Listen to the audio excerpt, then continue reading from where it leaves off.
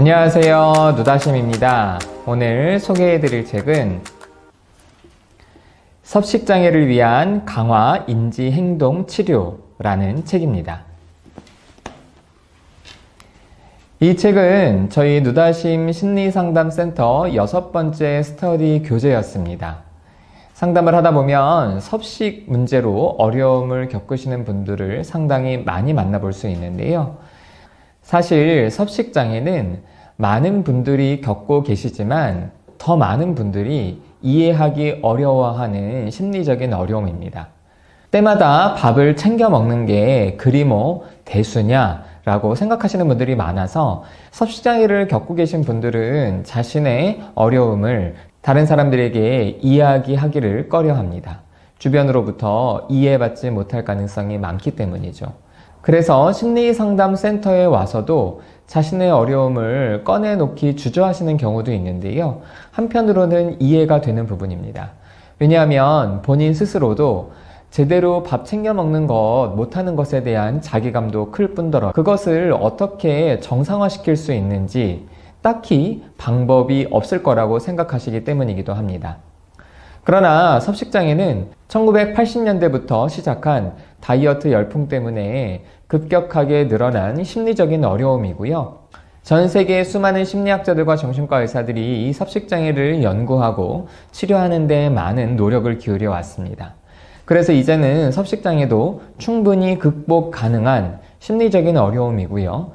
이 책도 섭식장애 극복을 위해서 쓰여진 책입니다. 이 책의 저자는 섭식장애에 있어서 세계적인 권위자라 할 수 있는 크리스토퍼 페어번이라는 분이 쓰신 책입니다. 크리스토퍼 페어번과 그의 동료들이 실제로 현장에서 적용하고 연구하고 또 개발한 그러한 치료 방법이라고 할 수 있습니다. 책에 보시면은 저자 이름은 나와 있지 않습니다. 그리고 이 책의 역자인 이정현 선생님 이름만 나와 있죠. 어, 그러나 이 책은 이정현 선생님이 쓰신 책은 아니고 아까 말씀드린 것처럼 크리스토퍼 페어번이라는 유명한 섭식장애 치료자가 쓴 책입니다. 그러면 이 책의 역자인 이정현 선생님은 어떤 분이신지 책에서 보도록 하겠습니다. 역자 양력 이정현 정신과 전문의, 연세대학교 의과대학 졸업, 연세의료원 세브란스 병원 정신과 전문의 수련, 미국의 펜스테이트 의과대학에서 섭식장애 프로그램 연수, 연세대학교 정신과학 교실 외래 교수, 마음과 마음 시기장애 클리닉 원장, 번역서로는 우리 아이가 시기장애라면 또 저서로는 심리학 17살을 부탁해. 이정현 선생님은 뭐 섭식장애 관련해서는 우리나라에서 손꼽히는 치료자라고도 할 수 있죠. 이정현 선생님께서 이 책을 왜 번역하게 되셨는지 역자 서문에서 살펴보도록 하겠습니다. 2002년 초부터 마음과 마음 시기장애 클리닉에서 일하기 시작했으니 10년 세월이 머지않았다. 대부분의 정신건강 치료자들이 잘 알고 있듯이 섭식장애는 치료하기에 정말 어려운 점이 많아서 치료자의 도전과 인내가 필요하다는 것을 순간순간 깨닫곤 했다. 하지만 또 한편으로는 섭식장애로 고생했던 오랜 시간들에 비해서 치료적인 도움으로 회복하고 성장하는 환자들을 보며 이 병의 치료에 대한 편견이 무색하게 느껴지기도 했었다. 크리스토퍼 페어번 박사는 섭식장애 치료에 있어서는 부연 설명이 필요 없는 세계적인 전문가다. 페어번 박사가 이 책을 준비하고 있다는 소식을 들었을 때부터 출간 날짜를 기다리며 번역을 해야겠다고 마음먹었다. 이 책의 한 문장 한 문장이 풍부한 임상 경험과 수많은 시행착오, 그리고 철저하게 진행된 연구의 결과로부터 나온 것임에 틀림없다. 우리나라도 섭식장애 환자가 빠른 속도로 증가하고 있지만 전문적인 치료자의 양성은 턱없이 부족한 실정이다. 몇몇 번역서들이 있지만 그마저도 일반인들을 대상으로 하는 것이어서 환자와 보호자들이 읽고 도움을 받는 정도이다. 섭식장애 치료에 관심을 가지는 치료자가 많이 있지만 배울 수 있는 기회는 아주 간헐적으로 열리는 워크숍이 전부라고 해도 과언이 아니다. 섭식장애 치료는 상당한 경험을 필요로 하지만 이 책이 섭식장애 치료에 관심을 갖는 많은 치료자들에게 좋은 길잡이가 될 수 있을 것이라고 믿는다. 이 원 저자인 크리스토퍼 페어번이 이 책을 냈던 게 2008년이고요. 이 책이 번역되어 출간된 것은 2011년입니다. 어, 벌써 한 9년쯤 정도 되어 가고 있죠. 이 책은 역자 서문에서 보셨듯이 일반인들을 위한 책은 아닙니다. 섭식장애 치료를 하는 치료자들을 위한 전문적인 책이라고 할 수 있고요. 아주 구체적인 치료 프로그램이 소개되어 있는 책입니다. 저희 센터에서 섭식장애 치료와 관련한 스터디를 하려고 여러 책들을 살펴보았을 때, 어, 김유나 선생님께서 책을 선정해 주셨는데요. 다른 책들은 역자 서문에서 언급되었던 것처럼 섭식장애를 겪고 있는 당사자들과 보호자들이 읽고 도움을 받을 수 있는 전문적이지는 않은 책들이 많았습니다.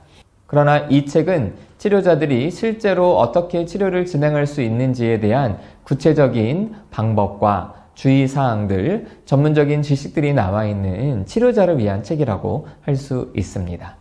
책의 목차를 살펴보도록 하겠습니다. 이 책은 1장부터 시작해 16장으로 끝나게 됩니다. 책을 보시면 아시겠지만 섭식장애를 위한 강화 인지 행동 치료는 총 4단계로 이루어져 있는데요. 그 4단계에서 구체적으로 이 목차들이 어떻게 연관되어 있는지를 설명드리겠습니다.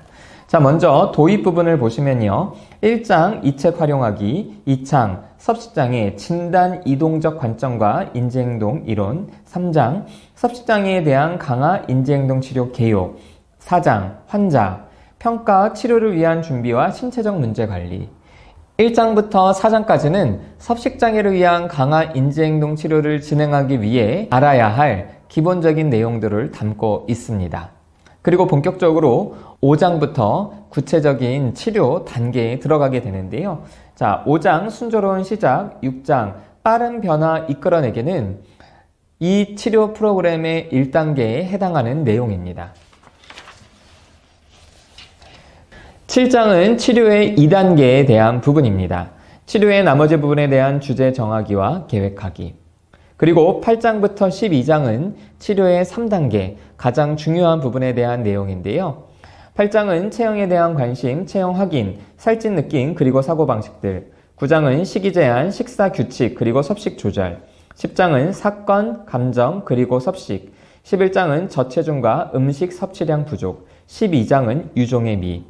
이 3단계는 섭식장애의 가장 중요한 부분인 핵심 정신병리를 다루는 내용이고요.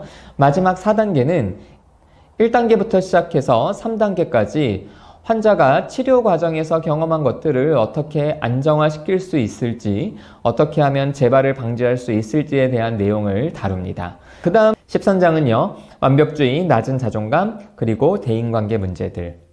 이 13장은 확장형에 대한 부분입니다. 요 앞에 부분은요, 기본형, 대부분의 섭식장애 환자들에게 적용할 수 있는 내용이라면 특별히 완벽주의와 낮은 자존감, 대인관계 문제들로 어려움을 겪고 있어서 그것을 아주 집중적으로 다뤄야 될 경우에는 확장형을 쓰라고 되어 있는데요. 이 13장은 바로 그런 확장형에 대한 내용입니다. 그리고 14장, 15장, 16장 강화 인지행동 치료와 나이 어린 환자, 입원 환자, 주중 입원 환자, 그리고 집중적인 외래 환자, 강화 인지행동 치료. 16장은 복잡한 사례와 공존 질환 등 특수한 환자들에 대한 내용을 다루고 있습니다. 그리고 책 뒷부분에는요. 후문, 미래를 생각하며, 그리고 부록, A는 한국판 식사장애 검사, B는 한국판 자기보고식 식사장애 검사, C는 임상적 기능평가 질문지, 현장에서 치료에 활용할 수 있는 몇 가지 자료들이 포함되어 있습니다. 섭식장애를 치료하시는 많은 치료자들에게 아주 구체적인 도움을 줄 수 있는 책입니다. 책 번역도 비교적 잘 되어 있는 편이어서 읽으시면서 공부하시는 데는 큰 무리는 없을 거라고 생각을 합니다. 그러나 섭식장애에 대해서 기본적인 이해가 없으신 분이라면 이 책을 바로 읽으실 경우는 좀 어려우실 수도 있다라는 생각이 듭니다. 그럴 경우는 저희 센터에서 8번에 나눠서 진행했던 스터디 영상을 보시면 도움이 될 것 같습니다. 매 회마다 이 책을 요약 발표하고요. 그리고 토론을 통해서 다양한 사례 이야기야, 그리고 어떤 부분들을 좀 고민해 볼 수 있을지 이야기하는 부분도 있기 때문에 센터 스터디 영상을 참고하시면서 공부하신다면 도움이 되실 거라고 생각합니다. 혹시 섭식장애를 직 직접 겪고 계신 분들이 볼만한 책이냐라고 물으신다면 반반 정도라고 말씀을 드려야겠습니다. 섭식장애 관련해서 많은 책을 읽어보신 분들에게는 도움이 되실 수 있지만 사실 처음 섭식장애 책을 보시는 분들에게는 좀 어려울 수 있고요. 그리고 이 책을 보면서 스스로 자가 치료하는 것에 대해서 물어보신다면 사실 혼자서 하시기에는 좀 어렵지 않을까 싶습니다.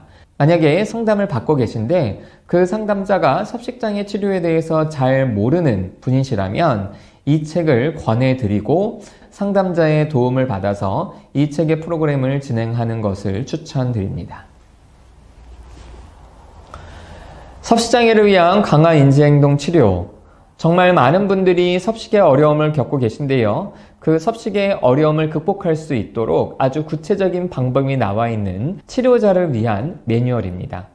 섭식장애에 관심 있으신 상담자들이나 또 현재 섭식장애 내담자를 상담하고 있는 현장에서 일하시는 많은 분들에게 이 책을 추천합니다.